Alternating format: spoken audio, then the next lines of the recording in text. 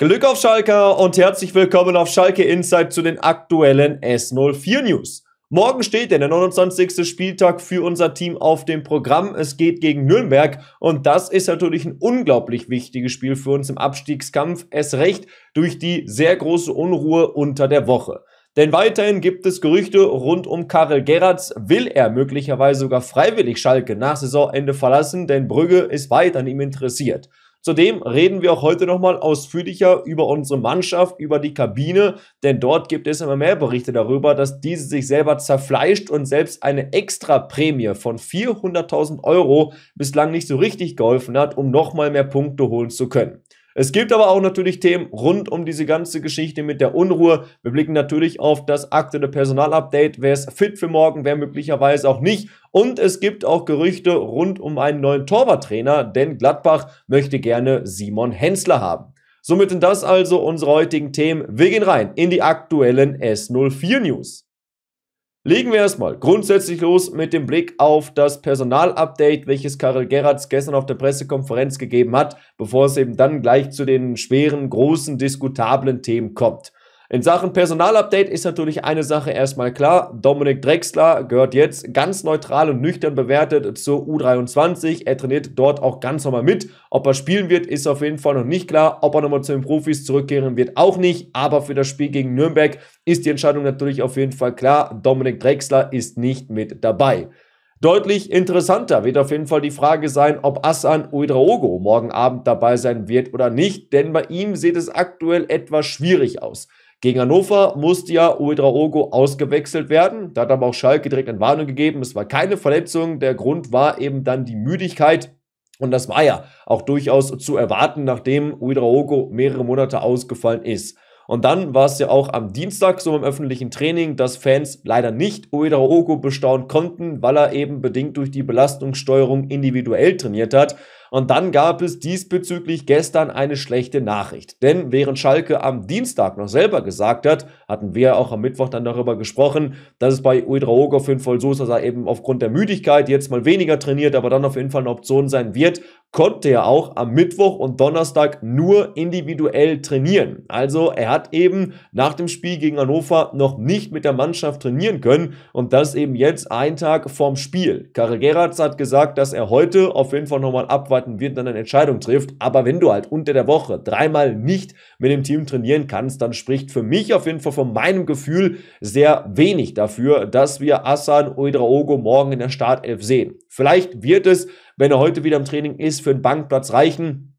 Aber natürlich weiß man eben auch nicht, wie hoch das Risiko ist, wenn Uedraogo ohne gewisses Training am Wochenende direkt wieder spielen wird. Weil man darf eben nicht vergessen, dass es oftmals bei Spielern so ist, die nach einer etwas längeren Verletzung zurückkehren, dass sie erst ein paar, zwei, drei richtig gute Spiele machen und dann eben wieder einen Rückschlag erleiden, ist irgendwie typisch bei so einem Körper. Und ähm, deswegen wäre das vielleicht auch jetzt ein gefährlicher Punkt bei Uedraogo, wodurch man dann vielleicht wieder einen längeren Ausfall hätte. Deswegen glaube ich nicht, dass man dort volles Risiko gehen wird. Klar ist eben auch, Uedraogo ist 17 Jahre alt, ein junger Körper, der bislang schon ein paar Mal verletzt war. Auch da wird man besonders drauf achten. Immerhin gibt es aber gute Nachrichten bezüglich Ron Schallenberg und Brandon Soppy, denn die standen ja zuletzt mehrere Male nicht zur Verfügung, aber beide sind in der aktuellen Woche ins Mannschaftstraining zurückgekehrt. Schallenberg hat laut Karel Geratz auf jeden Fall gut und voll mittrainiert. Bei Brandon Soppy ist es etwas geringer noch, der ist aber auch schon bei 80 bis 90 Prozent und deswegen sind möglicherweise auch beide Kaderoptionen für das Spiel gegen Nürnberg. Somit also zu den reinen Fakten, die gestern geliefert worden sind und jetzt zu den ganzen Geschichten rund ums Spiel und natürlich auch bezüglich Karel Geratz. Denn da gibt es ja aktuell viele Diskussionen darüber, viele Meinungen darüber, inwieweit Karel Geratz vielleicht schuld daran ist, dass die Mannschaft aktuell nicht liefert und es sehr viel Unruhe gibt. Vielleicht ist aber auch Karel Geratz der unschuldigste von allen und könnte eigentlich viel, viel mehr. Und da gibt es da wirklich viele verschiedene Meinungen. Und jetzt gibt es aber auch nochmal weitere Medienberichte, die durchaus Zweifel schüren, ob das mittelfristig noch so funktionieren kann. Denn laut der Watz gilt Karel Geratz auch weiterhin als Top-Kandidat für den Trainerposten beim FC Brügge. Das Gerücht ist ja nichts Neues. Ich glaube, jeder von euch hat bereits davon gehört. Brügge ist ja der Ex-Club von Geratz, da er als Spieler einige Jahre verbracht. Seine Familie lebt auch dort in der Nähe. Es ist ein Verein, der Jahr für für Jahr ums internationale Geschäft mitspielt, um Titel mitspielt und die wollen eben Karel Gerrards ab Sommer unbedingt haben.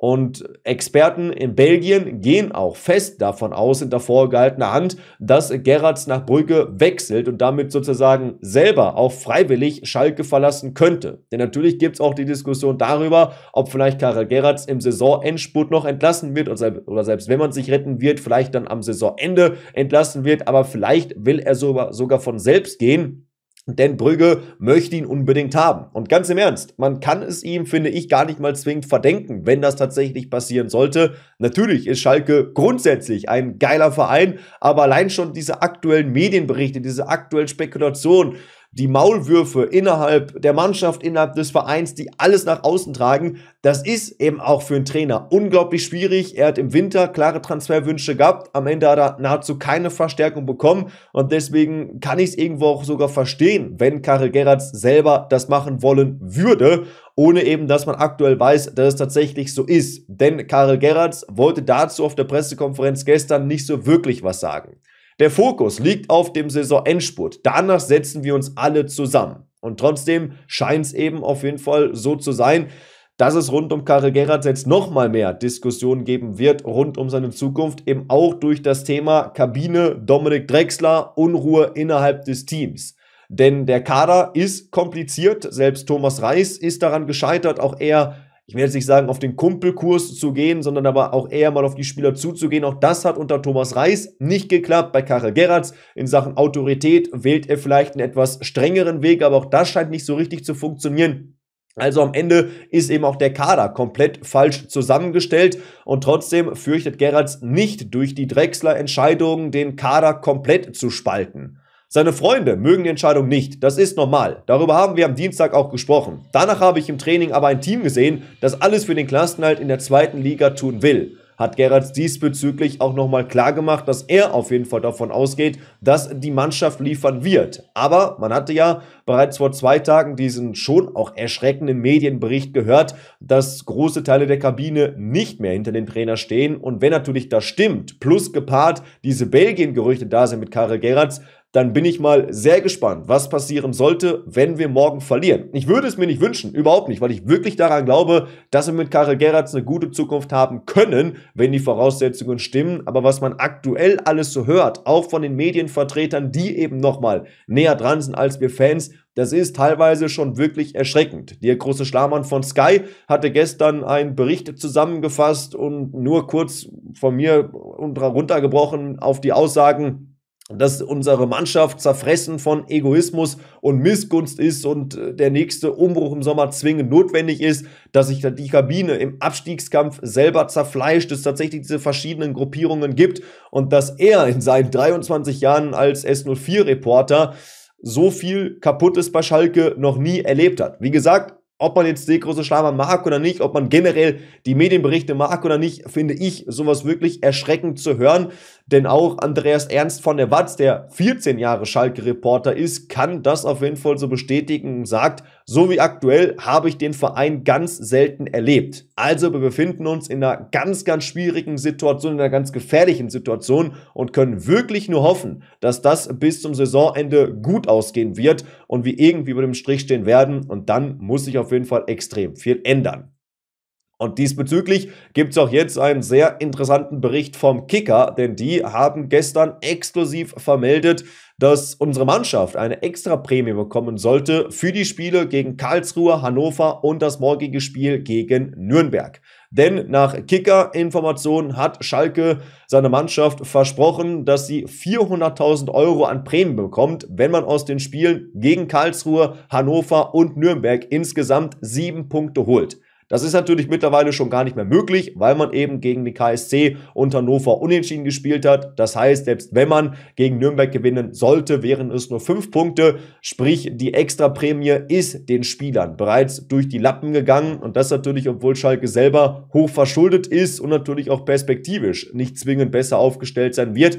Und da war natürlich schon noch so ein bisschen die Frage, warum hat sich denn Schalke dazu entschieden, überhaupt eine solch hohe Prämie auszusetzen?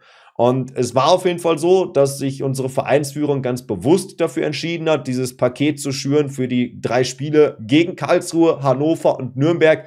denn das hat auch mit dem Zeitpunkt zu tun. Denn mit mindestens sieben Punkten aus diesen drei Partien wäre Schalke wohl möglich, nach internen Berechnungen aus dem Gröbsten heraus gewesen im Abstiegskampf. Und das wiederum hätte natürlich für Planungssicherheit gesorgt in Sachen Kaderumbau, in Sachen Sponsorenakquise, in Sachen Ben Manga. Und deswegen war es eben Grund genug für unsere Verantwortlichen, die Spieler nochmal extra zu motivieren. Und auch wenn es natürlich sich dann komisch anhört, dass Schalke auf einmal eine halbe Million als Prämie raushauen würde für drei Spiele, gibt es auch diesbezüglich ganz gute Gründe. Denn es ist eben so, dass natürlich wir finanziell angeschlagen sind, aber man wollte ja grundsätzlich aufsteigen in die Bundesliga. Das war das klare Ziel und vor der Saison wird eben auch deswegen immer ein Topf bereitgestellt mit Punktprämien für unsere Mannschaft und der ist logischerweise noch sehr, sehr gut gefüllt. Und deswegen war unsere Clubführung nun bereit, den stattlichen Betrag auf einen Schlag locker zu machen, hat nicht funktioniert und trotzdem kann man das sicherlich dann so probieren. Aber aktuell gibt es auf jeden Fall keine Pläne, das irgendwie nochmal in den nächsten sechs Wochen zu probieren, sprich nochmal irgendwie einen neuen Anreiz zu schaffen, das Geld zu bekommen. Und deswegen, ja, kann man auf jeden Fall jetzt festhalten, es ist vielleicht auch erstmal fraglich, ob diese Mannschaft tatsächlich überhaupt eine solche extra Prämie verdient gehabt hätte. Plus, braucht man überhaupt eine solche extra Motivation im Abstiegskampf? Darüber kann man natürlich jetzt sehr gut diskutieren und philosophieren. Am Ende war es eine Gelegenheit für die Mannschaft, nochmal on top, neben guten sportlichen Ausbeutungen, natürlich auch dann nochmal etwas Geld zu bekommen. Hat nicht funktioniert. Ich finde, am Ende kann man es probieren, ist vielleicht nicht verkehrt. Und jetzt haben wir eben die 100.000 Euro auf dem Konto und hoffen, dass sich die Truppe auch so gut genug motivieren kann. Und damit blicken wir nochmal auf ein Thema, was rund um diese Unruhe wirklich nichts damit zu tun hat und somit nochmal, finde ich, ganz gut hier reinpassen kann zum Abschluss. Simon Hensler steht nämlich auf der Liste als neuer Torwarttrainer von Borussia Mönchengladbach. Wir hatten ja hier auch auf Schalke Insight vor einigen Wochen bereits über das Thema gesprochen, denn Gladbach sucht einen neuen Torwarttrainer, denn dort wird der Posten frei. Der aktuelle Torwarttrainer Sven Otte wechselt nämlich im Sommer, ich glaube, in Richtung USA. Und deswegen sucht eben die Borussia einen neuen Torwarttrainer. Und hier gibt es mehrere Kandidaten, unter anderem auch den vom DFB, der auch parallel bei Freiburg Torwarttrainer war. Aber Simon Hensler scheint wohl mittlerweile sehr in diese Favoritenrolle reinzurutschen. Denn laut der Rheinischen Post führt Gladbach Gespräche mit Simon Hensler, der bei uns einen auslaufenden Vertrag hat und somit natürlich auch dann im Sommer als Torwarttrainer zu haben wäre. Also es ist auf jeden Fall so, dass Gladbach ihn unbedingt haben möchte. Die Gespräche werden geführt und aktuell skizziert eben auch dann Gladbach Simon Hensler, wie eine gemeinsame Zukunft aussehen kann. Hensler ist ja bei uns auf Schalke bereits seit 2015 Torwarttrainer. Er ist damals mit André Breitenreiter vom SC Paderborn gekommen, war auch dann Co-Trainer unter Tedesco, Weinziel, Wagner, Stevens, Groß, Baum, Gramozis um mal die erste Riege zu nennen. Unter Gramozis gab es ja dann auch das kurzzeitige Ende. Er wollte ja damals einen anderen Torwarttrainer haben. Dann wurde er aber auch kurz zu dem Aufstieg unter Mike Büskens zurückgeholt, war dann da Co-Trainer, genauso wie unter Kramer. Reis und eben jetzt Karel Gerrards. Also auch Simon Hensler hat natürlich auf Schalke schon unglaublich viel erlebt. Und es scheint wohl durchaus möglich zu sein, dass das Kapitel auf jeden Fall endet, denn auch Schalke selber beschäftigt sich damit, wie man hört, sich auf dieser Position vielleicht nochmal neu aufstellen zu wollen. Ein Kandidat ist vielleicht auch sogar dann direkt mal Michi Langer, denn der ist ja bei uns aktuell dritter Keeper, war parallel aber sogar auch mal Torwarttrainer bei einem Spiel, wo Simon Hensler krankheitsbedingt ausgefallen ist. Zudem absolviert er ein Trainee-Programm, also ist sicherlich eine Rolle, die sich Langer vielleicht auch selber vorstellen kann. Ist zumindest jetzt reine Spekulation von mir und fände ich auf jeden Fall durchaus spannend, das eben auch dann so zu lösen. Denn auf der anderen Seite natürlich auch klar, für Simon Hensler kann das auf jeden Fall nochmal ein anderer, ein vielleicht auch besserer Karriereschritt sein, zu Borussia Mönchengladbach zu wechseln. Und ich persönlich bin auch immer der Meinung, ein paar neue Impulse, auch im Torwartspiel, auch im Torwartteam, können vielleicht noch da nicht schaden zur kommenden Saison. Und jetzt könnt ihr mal gerne eure Meinung zur Community-Frage in die Kommentare schreiben. Und da habe ich euch mal gefragt, haltet ihr denn einen freiwilligen Wechsel von Karel Gerards nach Belgien für vorstellbar? Oder glaubt ihr, dass er unbedingt bei Schalke bleiben will, wenn der Klassenerhalt gelingt und das Thema Belgien für ihn gar keins so richtig ist? Schreibt dazu und zu allen anderen Themen gerne eure Meinung in die Kommentare. Und dann sehen wir uns im nächsten Video wieder. Macht es gut, ciao. Und Glück auf. Anna de Schalker.